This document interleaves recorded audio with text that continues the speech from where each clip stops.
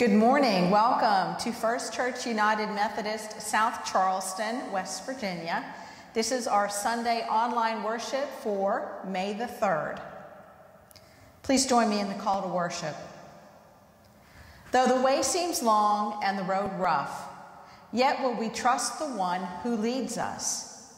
Though the direction is unknown and we don't know the outcome, Yet we will place our lives in Christ's loving care. It is Christ who brings us out to green pastures and restores our souls.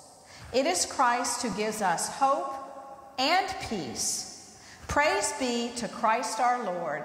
Amen.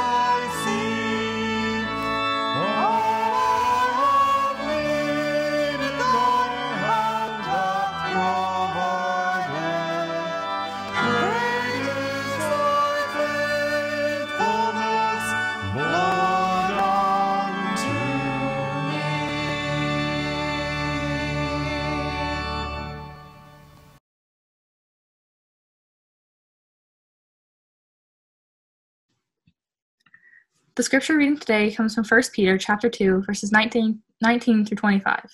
I'm reading from the New International Version. For it is commendable if someone bears up under the pain of unjust suffering because they are conscious of God. But how is it to your credit if you receive a beating for doing wrong and endure it? But if you suffer for doing good and you endure it, this is commendable before God. To this you are called, because Christ suffered for you, leaving you an example that you should follow in his steps. He committed no sin, and no deceit was found in his mouth. When they hurled their insults at him, he did not retaliate. When he suffered, he made no threats. Instead, he entrusted himself to him who judges justly. He himself bore our sins in his body on the cross, so that we might die to sins and live for righteousness. By his wounds you have been healed. For you were like sheep going astray, but now you have returned to the shepherd and overseer of your souls. The word of God for the people of God. Let us pray. Lord, even though we have wandered and have become lost, the shepherd calls to us. We can place our trust in his loving care, for we are the sheep of his pasture, blessed and given hope. Amen.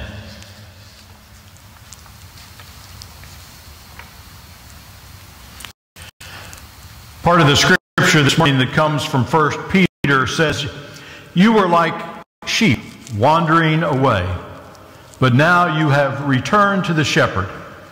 He is the one who watches over your souls. This is a direct reference to scripture that comes out of Isaiah that talks about sheep as well. In Isaiah 53, we hear, We are all like sheep, have gone astray. Each of us has turned to our own way, and the Lord has laid on him the iniquity of us all. These are the words that come out of the Bible in talking about sheep and shepherd. Separation.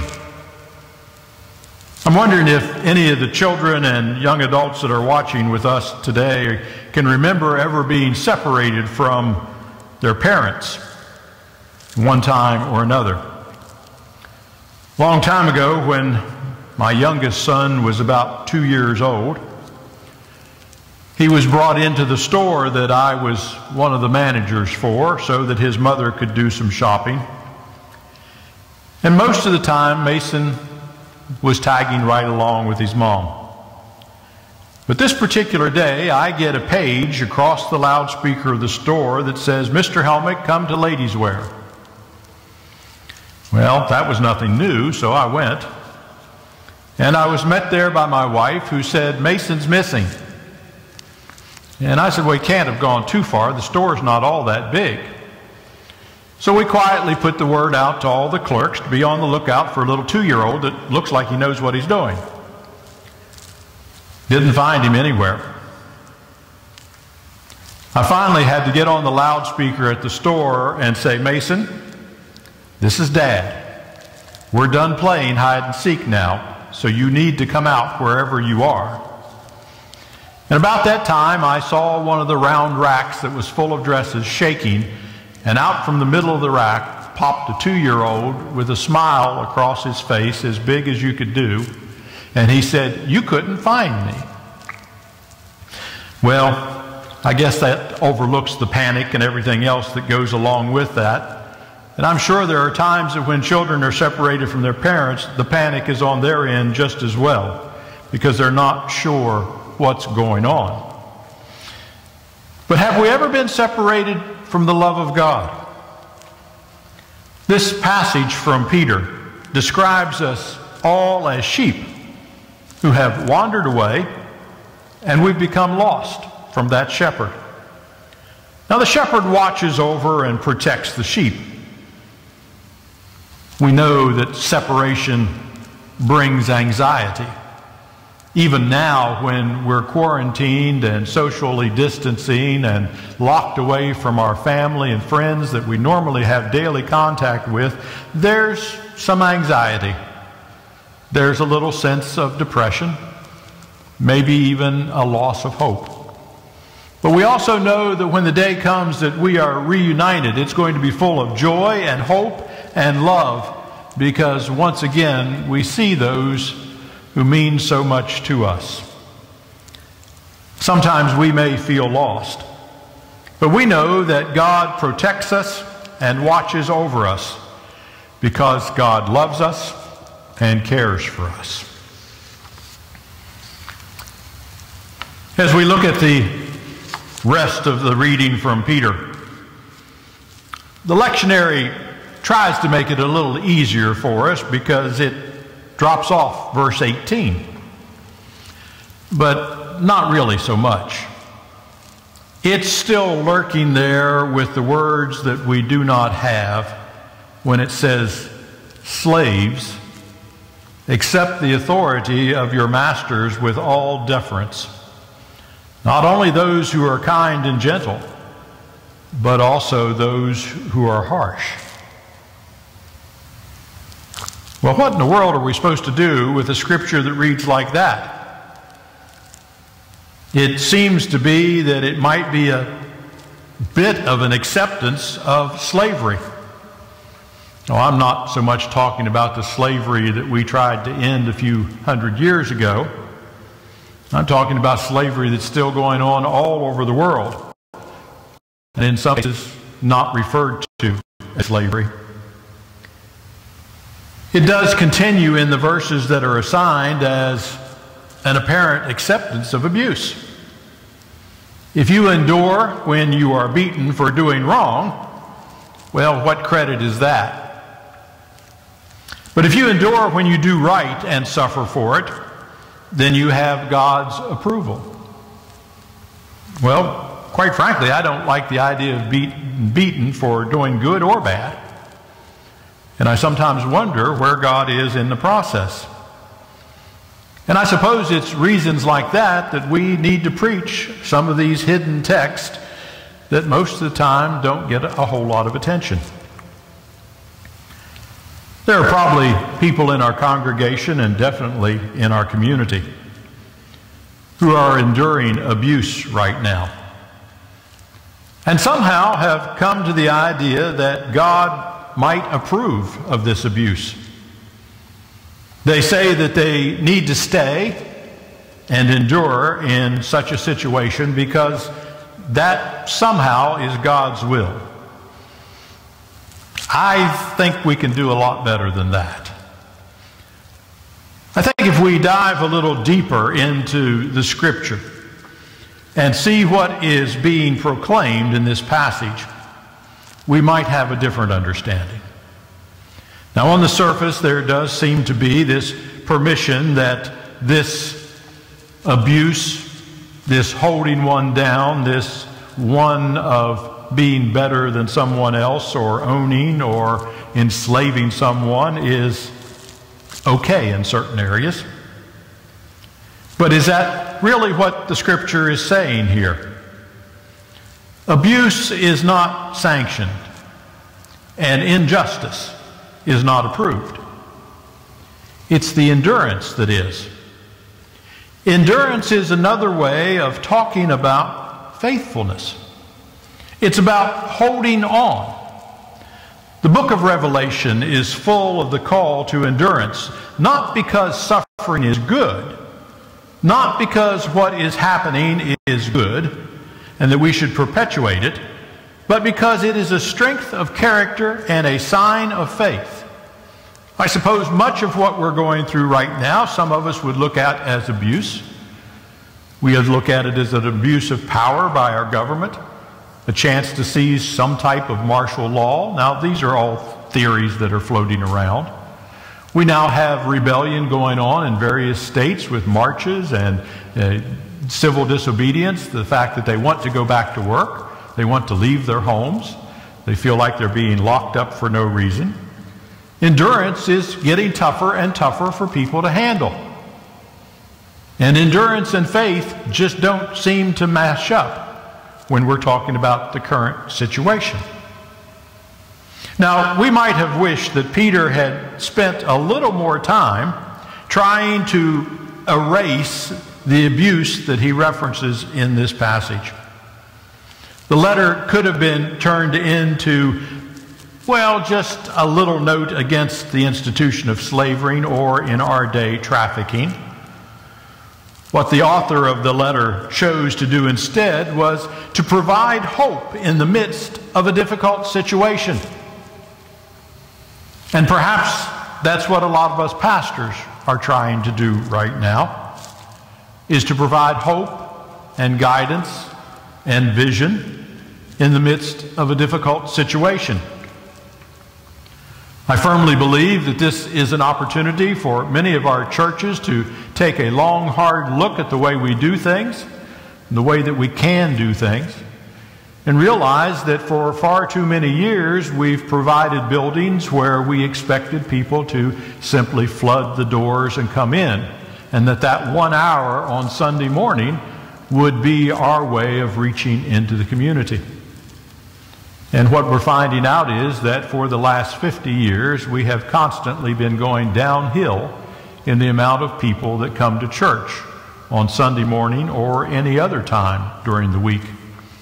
With the steepest decline coming in the last 10 years, when we have dropped from 56% of the American public go to some form of church to 48%. A difference of eight points.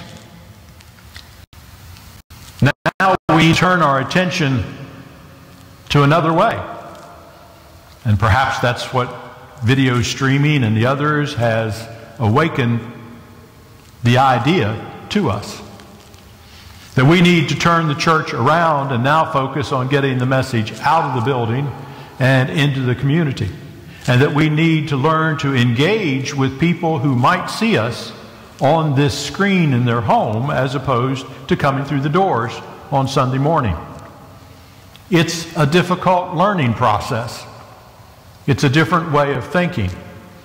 And it's one that's going to puzzle us for quite a while as we find the right way to continue worshiping God, giving reference and credence and honor to what we've done in the past, but looking for ways to move forward and looking for ways to make new disciples.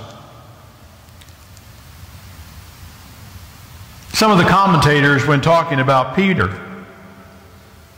are referencing perhaps the household code of the day when children were somewhat considered property and slaves as well. But I don't think that's the case here. If it had have been, there would have been categories for children and slaves and masters, those that were both. But there isn't. He talks only to the slaves. So why is that? Well, perhaps the only logical response is that the slaves were a part of the community, and many of the masters were not. Now, what am I saying here? It's sort of an abstract commentary, I suppose, on the social roles that were going on in the culture at that time, the time when Peter wrote the letter. It's also a very personal letter to members of a community who were suffering from the injustice of a fallen world. Maybe that's why it's easy to relate with right now because many of us feel like we are suffering, maybe not so much from an injustice but from a lack of attention, from a lack of detail in research in medicine and staying on top of situations. Peter is an attempt to give hope and a perspective and a sense of solidarity to those who might feel helpless and cut off. I suppose there are a lot of folks in our community that right now feel hopeless and cut off. This is a pastoral letter not one developed for social justice. Except that maybe there's an underlying hint of social justice. It's possible to read into the text what we want to see there. I suppose that's true. But there is a hope, a defined hope, if we listen. Now, Peter goes on to compare our suffering with the suffering of Christ and invites all to that higher standard. Not that any of us will ever achieve that height. But again, it's a sign of solidarity with all of those who suffer. Again, the insight to celebrate is the inclusion of those whom society considered of no consequence, treated as property, in the faith, even slaves can represent Christ. Peter argued that it can reflect the fullness of humanity that Jesus was glorified in his suffering. And all of this included his family. The case could be made that this was an individual response to an unjust system, that it was a dismantling of the injustice in the task of the community as a whole, and not borne by the ones who were suffering under it. So comfort was offered, even as change was coming. But maybe that's a little bit more than this text can bear. As a preacher, we have to ask the question each week when it comes to writing a sermon Is it more than the church can bear? Is it more than we want to spend time talking about in a broken world? Is a case where it's difficult to represent hope and justice and glorification when so many around us suffer in ways that go unknown. But then again, that is the job of the church to preach hope, to preach redemption and forgiveness. And in times like this, when we start to take a little more selfish view of the things going on around us, we remember the three simple rules that John Wesley instructed of all those people who came to be called Methodist. Do good. Do no harm. And continue to love God. Amen.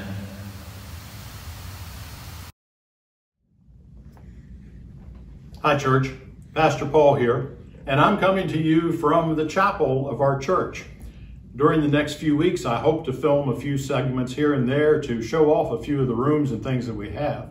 But today I want to bring to your attention our back door services. Now, we had just gotten up and running with two services when the coronavirus hit and we had to suspend everything. But we've not been playing possum and not getting ready for the others. Our band is ready to get back together and rehearse and do the things we need to. And very quickly, we're going to be sending you some new music and messages that are geared for our back door congregation.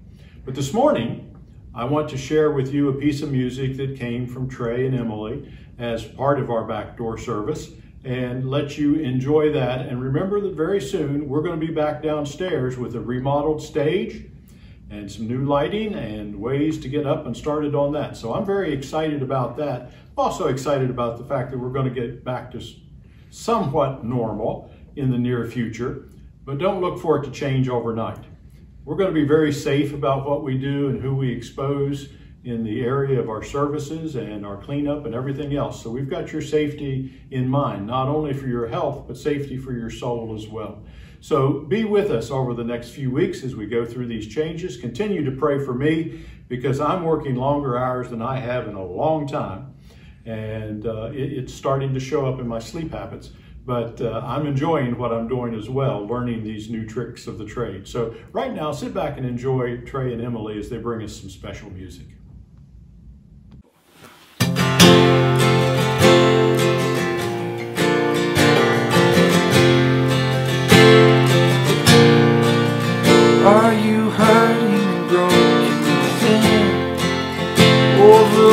By the weight of your sin? Jesus is calling. Have you come to the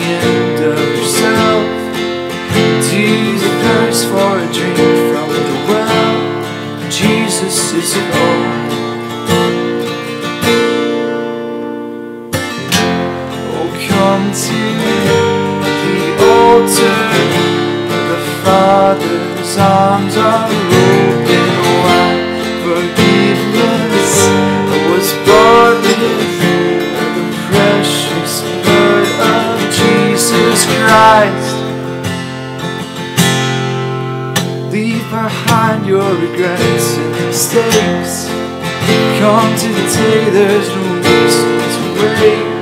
Jesus is cold. Reap your sorrows and trade them for joy. From the ashes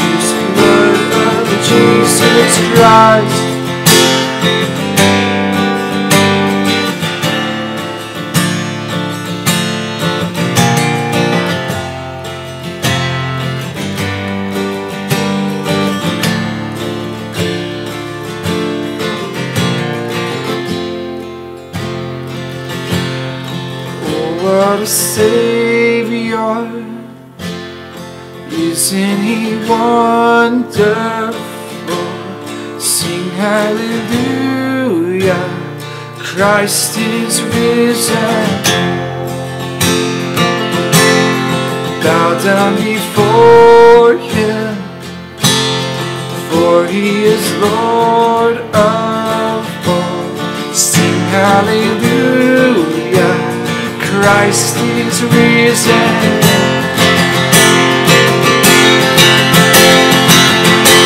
Oh, come to the altar. The Father's arms are open. Forgiveness was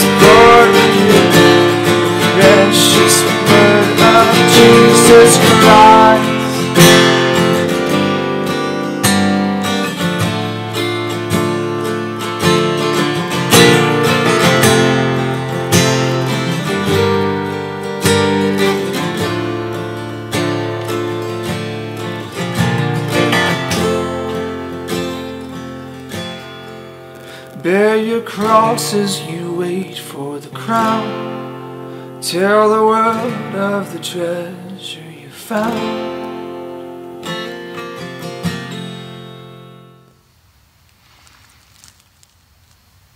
We continue to be faithful stewards of God's ministry in this world, and I want to say thank you to all of you that have taken up new ways of getting your offerings to the church for us to continue our ministries and all the activities that we continue to have here at the church and in preparation for those that we are hoping to reopen very soon. Let us pray. Consoling and guiding God, we bring our offerings and our very lives to your altar this morning. Many of us come feeling like we're in the midst of a storm, with disagreement and discord buffering us from all directions. Help us to hear your voice in the midst of this, your call to serve, and your encouragement to endure for the work of the kingdom. Lead us to the light and hope of this Easter season so we can joyfully and faithfully serve you in the world. In the name of Jesus, our rock and our Redeemer, we pray. Amen. I'd like to share with you some of our prayer requests that have come in this past week. Please continue to pray for Tony Brown, who is recovering from surgery.